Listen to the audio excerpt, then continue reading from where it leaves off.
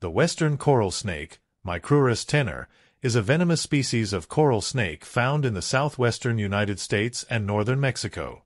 Known for its striking coloration and potent venom, this snake is part of the Elapidae family, which includes cobras and mambas. Identification Appearance Coloration Distinctive red, yellow, or white, and black banding. The pattern follows a mnemonic, red touch yellow, kill a fellow, red touch black, venom lack. This helps distinguish it from non-venomous mimics like the scarlet kingsnake. Size, typically 13 to 24 inches, 33 to 61 centimeters, in length, though some individuals can grow longer. Body shape, slender and cylindrical with a smooth, shiny appearance.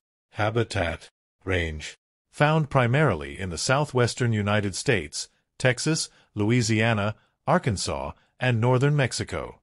Prefers a variety of habitats, including dry, rocky hillsides, pine forests, and scrublands. Behavior Nocturnal, most active during the night, especially in warm weather. Burrowing, often found underground or under debris, such as leaf litter, logs, or rocks. Diet Prey Primarily feeds on other snakes, including smaller non-venomous species. Occasionally consumes lizards and amphibians. Venom. Toxicity. The venom is highly neurotoxic, affecting the nervous system and potentially causing respiratory failure if untreated. Despite its potency, the western coral snake is responsible for very few bites due to its reclusive nature and small fangs. Symptoms of envenomation. Initial symptoms may include pain and swelling at the bite site, followed by neurological symptoms such as difficulty speaking, swallowing, and breathing.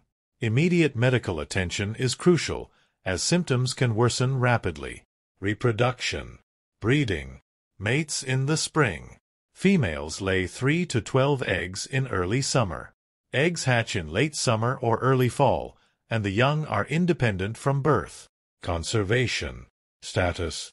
Not currently listed as endangered, but habitat destruction and human encroachment pose potential threats. Conservation efforts focus on habitat preservation and public education to reduce unnecessary killing of these snakes. Interesting facts.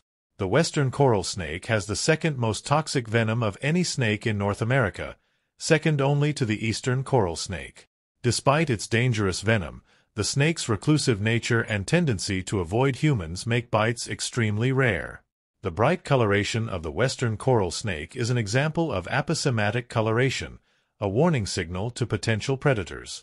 First aid for bites. If bitten by a western coral snake, stay calm. Try to remain calm and avoid panicking. Immobilize.